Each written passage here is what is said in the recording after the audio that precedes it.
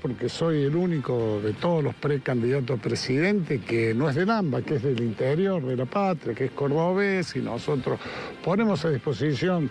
de todos los argentinos el esquema que tenemos de trabajar en nuestra provincia de Córdoba. Lo ponemos a disposición con mucho cariño y es el esquema de apoyar la producción y el trabajo, la cultura de la producción y el trabajo y no la cultura del subsidio, es la de plantear un país federal en serio, es la cultura de plantear el fin de la grieta y lograr la unidad nacional que precisamos para superar la dificultad y largos años de decadencia de nuestra patria y la cultura de querer un país normal. La grieta la inició Cristina Fernández de Kirchner hace 12 años y Macri entró en la grieta y al entrar en la grieta fracasaron los gobiernos anteriores y fracasó el actual gobierno kirchnerista y hoy estamos viendo los resultados de esta grieta. Yo espero que concurran masivamente todos los argentinos a votar. Porque el momento de expresar lo que sentimos, el momento de expresar todo lo que estamos viendo es ahora con su voto. Por eso espero que masivamente